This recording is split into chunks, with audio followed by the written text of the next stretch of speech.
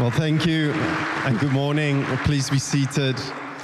Um, yes, so we were sent up to Semonkong to grow the church, so we're doing it one way or the other. So, um, baby Ruth was born 11 days ago. And uh, imagine that being 11 days old. She's in a case just sleeping through it all. It, it really looks good. Uh, anyway, and um, here's a quick photo of uh, my family uh, my beautiful wife, Adele. And then uh, the boy behind her, Ruben, he was wrapped to me um, the last time we were here at the team night to give some mission feedback. Uh, he's a real boy's boy. I love it. He's a petrol head. I'm not even, but I'll become one just because he is. And Rebecca, our extroverted daughter, uh, we love her very much. Um, you saw the children's center or the children's orphanage um, in the Lesotho feedback. And some days we get there and the kids, you know, they, it's almost as though they're tired and they don't know what to do and they're just sitting there. But my daughter will run in and grab them by their hands and she's like, This is the time to play, so let's play. And she pulls them in and she gets them started. And then here's a photo of little Ruth, um, and she's just chilling it out.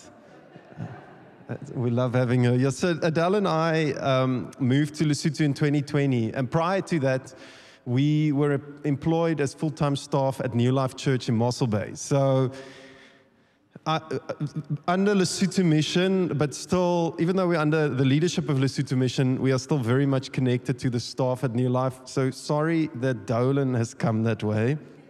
We really are. Uh, but that's God's plan and not ours. Um, and I was actually in Mossel Bay now for 10 days uh, for the paternity leave, and it allowed me to be part of the inauguration um, of Dolan. And so it, it, was a great time. It really, I don't know if, if, this comes as good news to you, but it feels like a, a, a God shift for Dolan and Sarah, and well, not just them as leaders, but for the congregation there. And the positive thing is that it is good for you guys as well.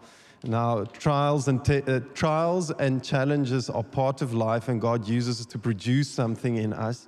And you might find that you find yourself in a trial, but as James says, rejoice because it produces perseverance. And uh, Dolan said something that I can remember. He said, It is great to come back to Graaff-Reinet and see you guys continuing with the work, not just hoping to maintain it, but to also grow it.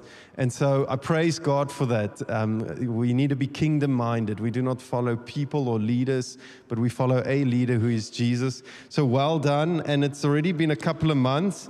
Um, and so, and God has somebody for you guys to help lead. But until then, um, the elders are doing a great job. Well done. Um, you guys keep it up. Um, it is encouraging to me who's looking in from the outside. Anyway, so we moved up to Lesotho in 2020, and the goal was to see um, not just the local congregation being pastored, but also to see um, more churches planted in the nation of Lesotho. And last year, our theme was to build. And um, just to take you through a bit of the history, when we moved there in 2020, you'll see a picture here of an army tent that's being taken down, and you can see I'm quite happy.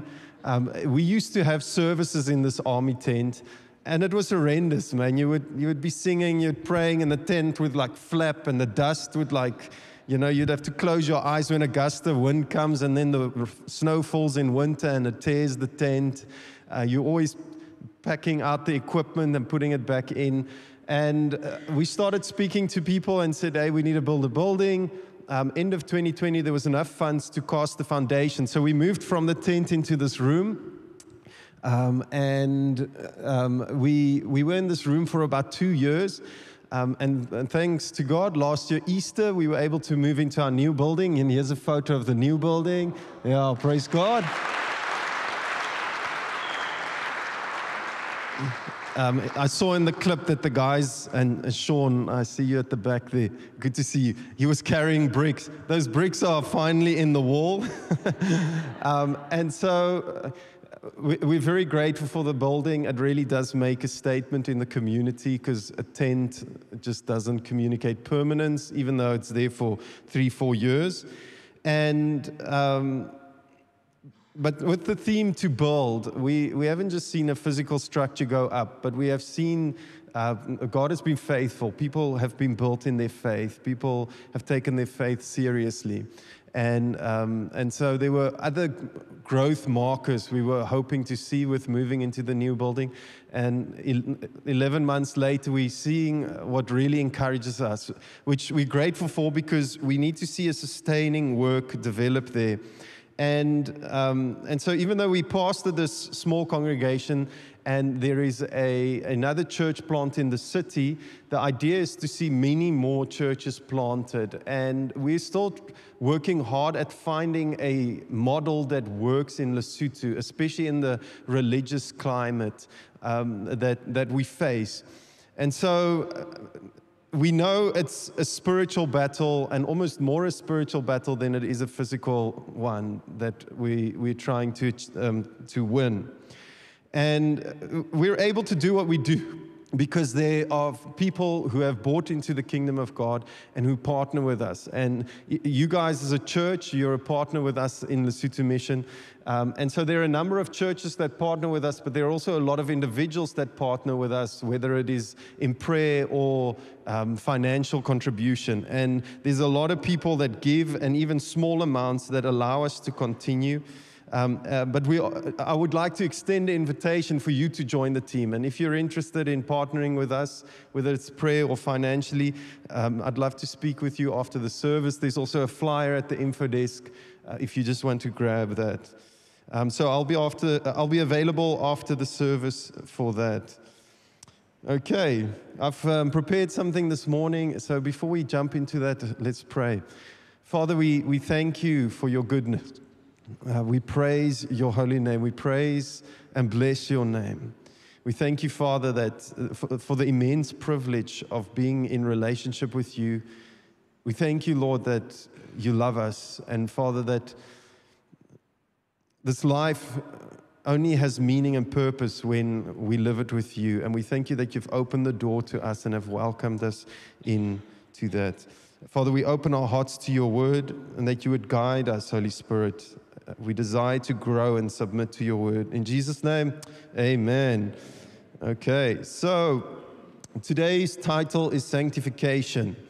Now, the, the root of the word sanctification is to sanctify, and that means to be set apart, and more specifically, to be set apart as holy.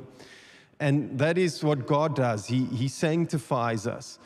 Now, we understand what it is to set things apart in, in your kitchen, you've got cutlery and crockery that is for special occasions and that which is for common use.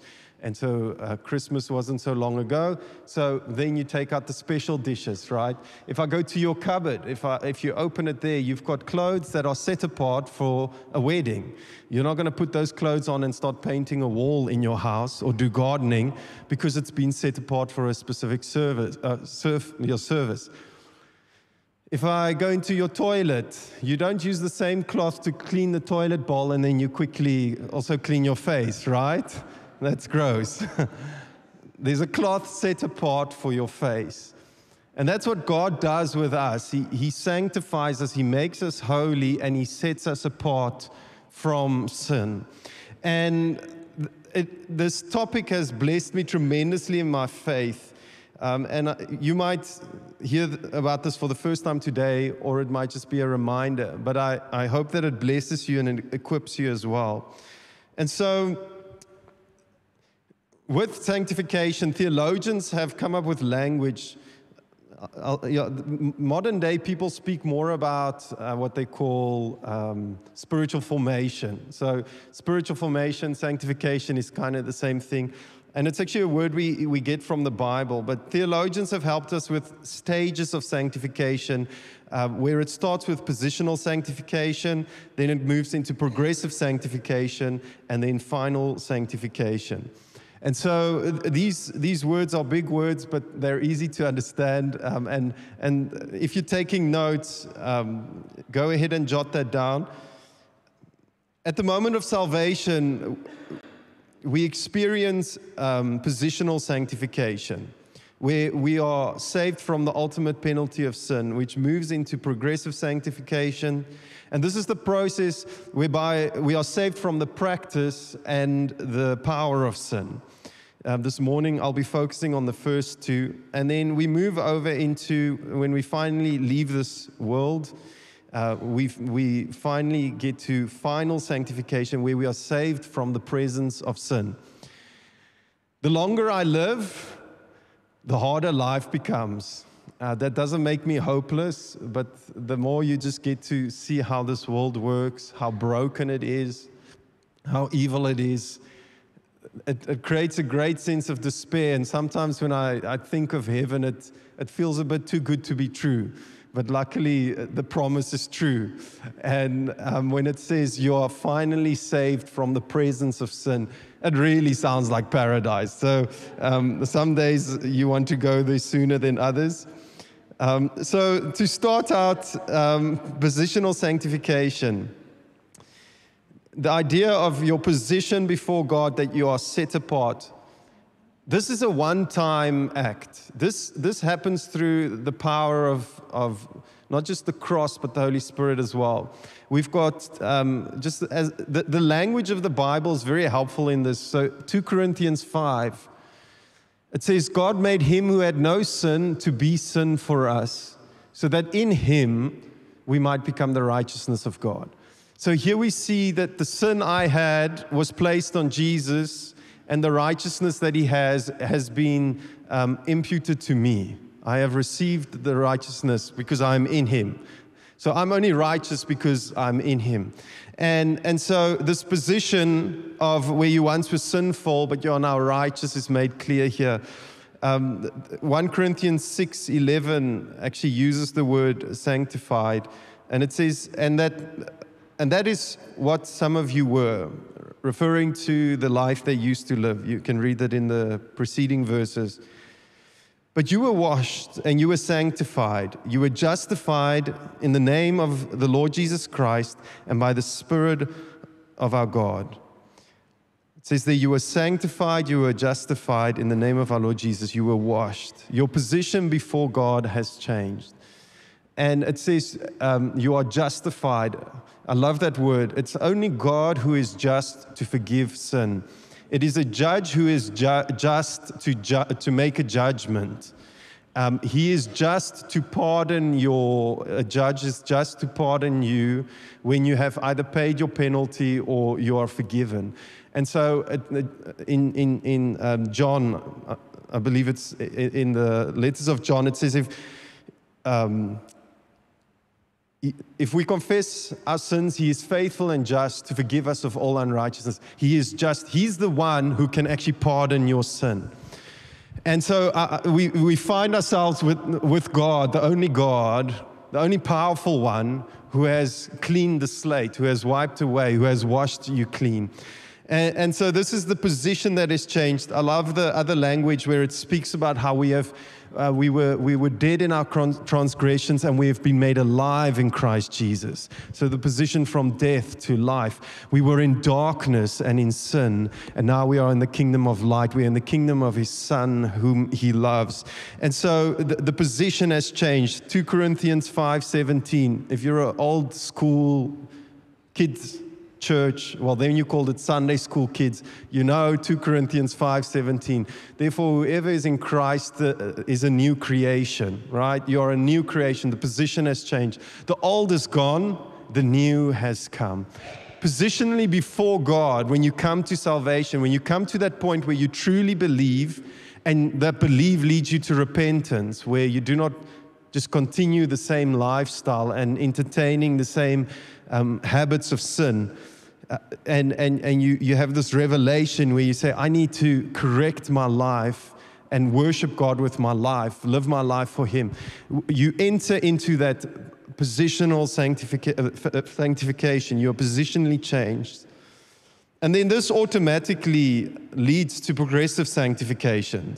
So those who are born again naturally start acting in accordance with their new nature. And the result, the result leads to, to holiness and per, a personal life that pleases God, and the Holy Spirit can continue the work of regeneration in you. It's the Holy Spirit that convicts us of sin. It's, it's interesting that we as people need to be taught what sin is and righteousness, and that we need the Holy Spirit to point out in us what is sin for us to go, oh, that, that's not good. You know, it helps us understand how fallen our state is in sin. But sometimes our image of the Holy Spirit is that he, he is one that goes through the, disapprovingly through the rooms of our hearts, looking at the mess that lies around. And he says, Well, you better sort that out. That is not in order. That is not how it should be. And even though there's some truth maybe in that, I think it's much it's a, a much healthier way to view the Holy Spirit as, as, as the person who convicts us of our new nature in Christ. That when we do behave like our old nature, He rather goes, Have you not been made righteous in Christ Jesus? Has He not given you a spirit of purity? Has He not given you self control? And then for us as the believer to go, That is true my new nature is one of self control, of gentleness, of kindness, and to step in alignment with this new nature. Um, I was going to speak about, uh, for the media lady, um, if we can actually jump to those herd boys in the Sutu, I want to use that example a bit earlier today. This is a typical image of the herds boys in Lesotho. And um, due to HIV having a drastic impact in the nation of Lesotho, um, there are, a lot of the shepherds are actually um, orphans. They don't have family anymore. And so the easiest sort of way to make a living is to become a shepherd. So they hire shepherds. But many of the shepherds, they are either just um, the flock belongs to them or they are um, you know, the, the sons in the, in the family would then take care of the flock. But they're easy to recognize with their gumboots and their stick and a dog often following them with the blanket, which serves for the icy wind, for um, the hot sun and cold winters. Sometimes it even protects them from the rain. And th- these guys are generally a bit of the, the, unrefined people. I don't want to sound too derogatory, but they can be quite unrefined in their lifestyle. Uh, they, they love, you know, you could actually make a documentary about these guys because they live a really hard life. And as you have to let land rest and the animals have to graze elsewhere, they move between cattle posts um, through, throughout the year. And in this photo, you'll see they, they live in these kind of huts when they, if we can have the next photo. Um, and these little huts, they, they kind of, they temporary housing. Sometimes what even happens is lightning will strike these huts and it, it will just kill everybody inside. It, it's really, uh, as, as foreigners, sometimes when we look at lightning, we stand there in awe. In Lesotho, it's more of a thing that it, it's probably killed somebody in their family or close to them, and it's a horrific thing. But they live in these little huts and they eat and sleep and do everything in here. Here's a photo of the inside um, of one of the shepherds. And I must say, they're interesting people. Um, as you can see, his hands aren't very clean. When they go from cattle post to cattle post, they don't even take a bag of clothes, right? Maybe one change of clothes. You won't see toothpaste and toothbrush on his donkey, right? He just wants some maize meal and he wants to get on with it. He wants to do his job. And I want you to imagine, because um, in the in Lesotho is called a kingdom because it still has a king, uh, that still has a royal house.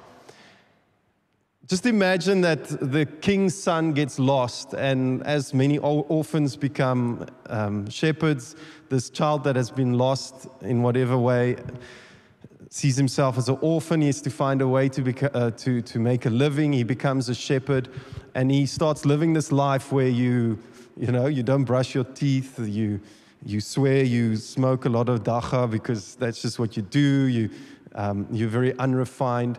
And for whatever reason, there's suddenly a connection made between this lost son and the palace, and they obviously automatically bring him back, and he has to start living in the palace. This shepherd boy will have to really adjust his lifestyle. You'll agree, right?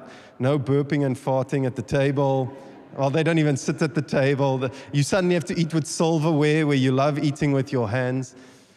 And why I'm talking about this is just to give you a picture of our old nature versus our new nature. We've, uh, Colossians, we'll look at it in a moment. Um, well, let's actually just look at 1 Peter 1 15 to 16. But just as he who called you is holy, so be holy in all you do. It is written, Be holy because I am holy.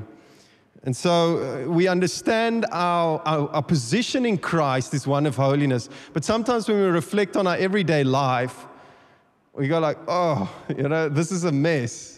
Um, today I didn't look very much like Jesus when I had that conversation or had this outburst or the thoughts that I was entertaining or the things that were going on in my heart. And so the progressive sanctifi- sanctification is that process of giving over to the new nature. Colossians 3:10 and, ha- and have put on the new self. So we see this, uh, this, this active decision of putting on the new self. I love the language of Colossians chapter 3. It says, uh, Set your mind on the things above, set your heart on the things. Take off the old self, clothe yourself with the new self. Uh, take off the old self. Did I say that correctly? Yeah. Put on the new self. And so we see that progressive sanctification is the process where, we, um, where, where the, the power of sin becomes weaker and weaker in our lives. But it requires an active giving over you and I actively have to give over. So, this process of sanctification is very much passive but active as well. And so, the passive side is that God has done the positional sanctification, the new position is there. Now, come in alignment with that. And so, with the shepherd boys, you know, the example of how he would move into the, into the palace, he has to learn to behave becomingly of the life in the palace.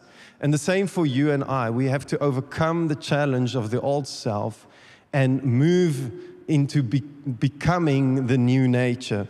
And this, the Holy Spirit, of course, helps us with. And when we talk about sanctification in this sense, it becomes our confession and our defense. Uh, because sin has a nasty way of attaching itself to us or making us feel guilty and actually it, it, it slows us down in the race of faith. And, and so I, I, I love speaking about this topic because it empowers us to overcome those shortfalls and those uh, sort of personal weaknesses that we all have in our journey with God. Um, Romans 6.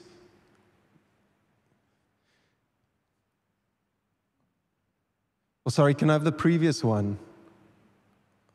Okay, no, sorry. Can we have Romans 6? Thank you.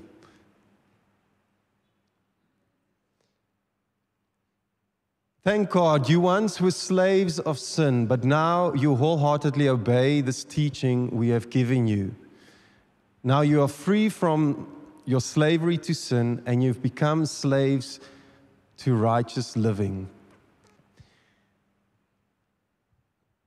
It says there, it is for freedom that Christ has set us free. And then it says, you're slaves to righteous living. You're like, what does that mean? Anyway, a slave is obedient to his master. And so that's what the language is creating. We once were obedient to sin. But praise God, and through the power of Jesus Christ and the Holy Spirit, He has set you free from the power of sin. And now we are, have the choice to be obedient to righteousness. Um, Romans 12. And, and this is part of, you'll see, I've underlined the last line. And this is where the confession really comes in. I urge you, brothers and sisters, in view of God's mercy, to offer your bodies as living sacrifices, holy and pleasing to God. And this, the, you know, a living sacrifice. What is a, sacri- a living sacrifice? Well, a sacrifice we understand is an animal that is sacrificed on an altar. And so, uh, how can you be a living sacrifice? Well, you do it every day. And so, every day I die to self. Jesus says, if you want to be my disciple, you need to deny yourself, take up your cross, Today, the, the cross is an image of love, but back in the day, the cross was an image of suffering. So he says, Take up the suffer, suffering of denying oneself and follow me. And it, it requires a lot. The gospel might be free, but it requires your whole life. And there's nothing more rewarding than giving your life for God. And, and, and when we place our, our lives in the hands of God, He can do significantly more with our life than what you and I could possibly try with our own effort. It gives us purpose, it gives us meaning, it gives us hope. And so, even though we live this life of, of trials and suffering and denying oneself, it is the greatest love, life of peace and fulfillment and hope. It is, it's such a great paradox, anyway. So, to be a living sacrifice that is holy and pleasing to God. And then it says, This is your true and proper worship. Yes, we worship God through song. And we can worship God through acts of goodness. When we do good towards others, it's worship to God. But we have to understand also when we deny ourselves and choose righteousness, that it is received as worship before God. And then it says, Do not conform to the pattern of this world, but be transformed by the renewing of your mind. And we need to renew our thinking. Our thinking needs to change. And there's been times in my life where there's um, just either it is habitual um, weakness, you know, I find myself really struggling with impatience, or whether it's just like sometimes it feels as though the devil is just dumping like thoughts in your head that you weren't even meditating on, but they suddenly like on you. And God showed me this in that time, and it was a friend that I spoke to because it's always important when we're struggling with something to bring it in the open. Um, sin in its secrecy has its power. Where you think, I'm going to overcome this by myself, you know, then the pride says, oh, just, just don't tell anybody, you know. And then you try overcome it yourself, and when you look again, you've just stumbled in that same way. So I was speaking to a friend just with some things that were really challenging me and, he's, and he's, he, he just took me through some of these passages, and I had to find ways to confess the new nature. And where I found myself incredibly impatient, I would have to reflect on what the New Testament had to say. Thank you, God, that you've given me a new nature. Thank you that right now I can put on the new self and I can choose to forgive.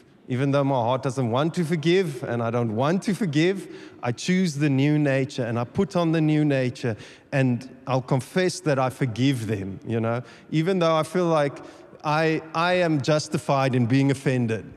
Um, even though I feel as though um, they should be the first one to apologize. I go, Thank you, Jesus, that you died on the cross for me without me first saying sorry.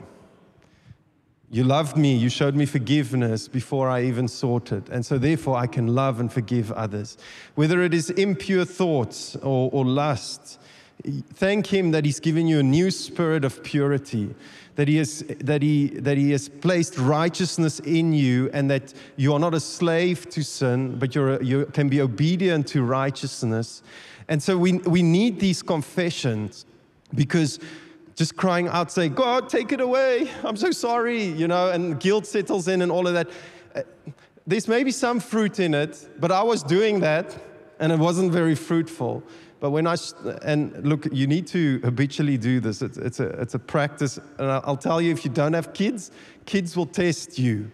They will. You, you will be the grown ass adult and you feel like acting like a kid because they bring something out in you. And you, you're going to have to stop and remind yourself thank you, God, that, I'm, that I have a new nature. Thank you that the fruit of the Holy Spirit is self control, that it's gentleness, it's patience. And as you practice it, you will see the power of sin just become weak in your life. And that's part of progressive sanctification, where we can see the, the power and the practice of sin reduce in our everyday life. I hope that was helpful to you. Um, I would like to just close in prayer um, as we just commit this to God. Father, we love you. And we are so encouraged by who you are and what you do in our lives. And Father, I pray for us, and maybe if you're sitting here and something has come to mind, won't you just bring that topic to Him? Father, thank you that even though we struggle and we are weak, and you encourage us towards the perfection of Jesus Christ. You know that we are human, that we are weak, that we are easily, we are easily tempted. And Lord, thank you that you, have, you do not tempt us beyond what we can endure and that you always give us a way out. And so as we sit here, we commit our lives to you, Lord, and help us as believers to spend time in the Word so that we can be equipped with positive confessions. Because we know that our defense is in you, Christ Jesus. You have set us apart, you have sanctified us, you have washed us clean, you have forgiven us. And Lord, as we continue with progressive sanctification, we, we, we stand on those truths and we need to confess them. Holy Spirit, that you would lead and guide us to passages of Scripture to overcome it. God, we do not want to be sin focused, but we want to be righteousness focused. Thank you for the abundant life that we have in you. In Jesus' name, amen. Thank you.